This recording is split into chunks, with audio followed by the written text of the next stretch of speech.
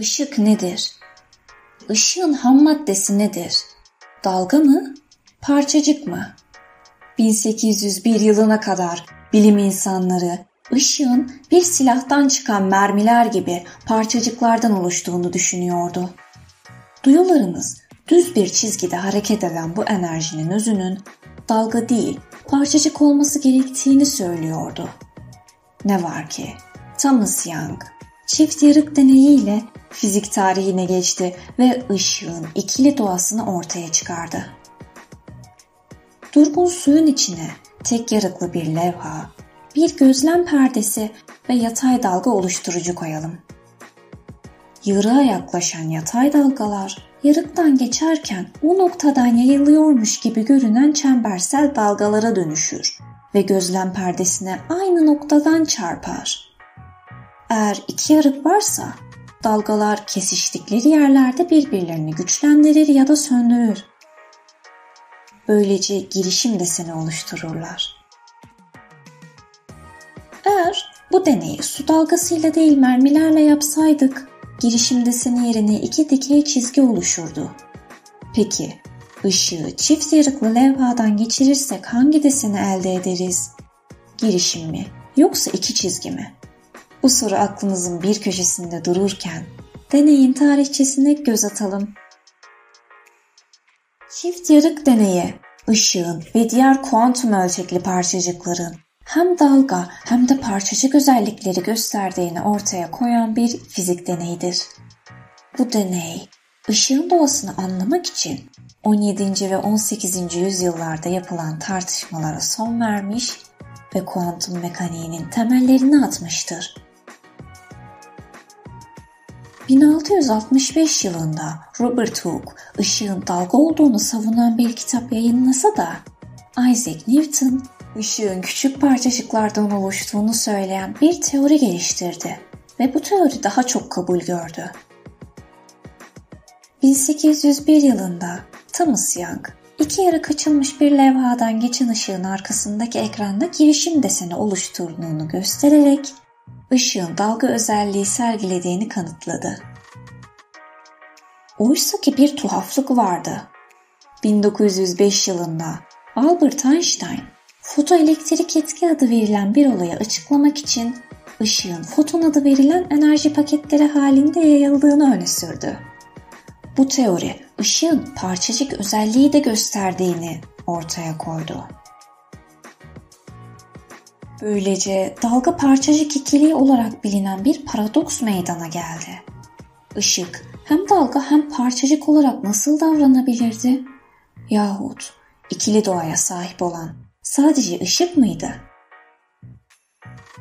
Çift yarık deneyi farklı şekillerde tekrarlandı. Örneğin 1927 yılında Clinton Davison ve Lester Germer parçacık yapısını bildiğimiz elektronlarla çift yarık deneyi yaptılar ve elektronların da girişim deseni oluşturduklarını gördüler. Elektronlar da hem dalga hem parçacık özelliği gösteriyordu. Atomlar, moleküller hatta virüsler de.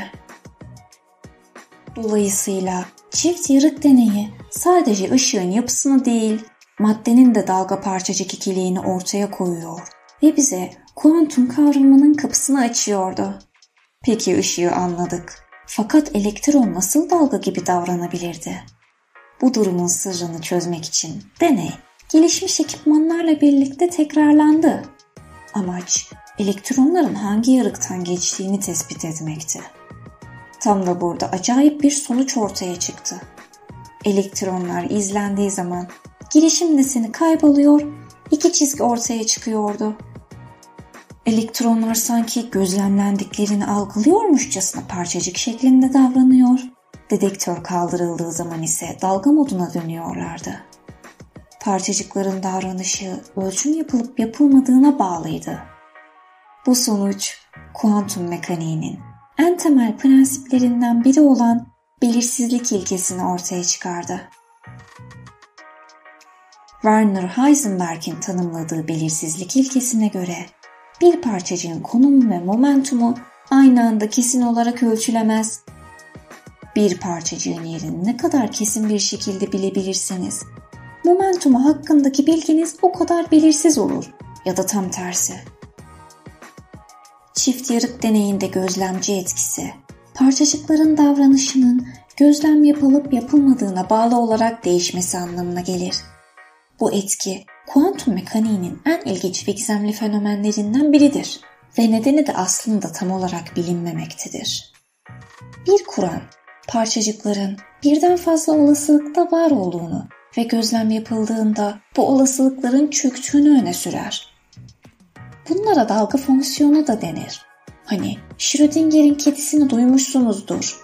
Kapalı ve içi görünmeyen bir kutuda bir kedi ve zehirli bir gaz şişesi olsun. Bir de bu şişeyi radyoaktif bir parçacığın bozulmasına bağlı olarak açacak bir düzenek olsun. Parçacık bozulursa kedi ölür, bozulmazsa yaşar. Peki kutuyu açmadan kedi ölür mü yoksa canlı mı bilebilir miyiz? Schrödinger'e ve kuantum mekaniğine göre biz kutuyu açana dek kedi hem ölüdür hem canlıdır. Biz gözlem yapana dek elektron hem sağ hem sol yarıktan geçer. Dalga fonksiyonu çökmez. Girişim deseni oluşur. Çift yarık deneyi, ışığında, maddenin de hem dalga hem de parçacık doğasını gösteren ilk deneylerden biridir.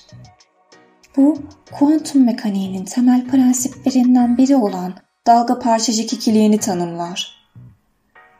Bu deney, atom altı düzeyde gerçekleşen olayları açıklamak için gerekli olan kuantum mekaniği teorisinin geliştirilmesini sağlamıştır. Kuantum mekaniği bugün atom fiziği, kimya, nanoteknoloji, bilgisayar bilimi ve diğer birçok alanda kullanılmakta, bildiğimiz her şeyi alt üst etmeye devam etmektedir.